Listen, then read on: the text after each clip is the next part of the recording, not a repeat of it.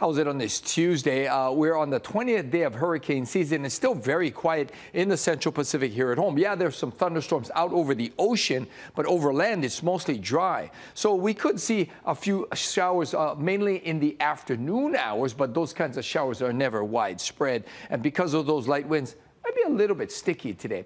Otherwise, we expect a very, very nice day today. A few showers to start for a handful of windward spots only. After that, things are going to dry up significantly. High temperatures running into the upper 80s by noontime. And then late in the day, because of the light winds, we could see some clouds building, and those cloud buildups might spawn a few showers. Surf's on the way down today, pretty much island-wide. Best waves up in the country. Conditions are pretty good, too. Uh, a 2 to 4 in town, that might be a little bit of a stretch. Now, over the weekend, though, look for a solid swell to be building into the south shore.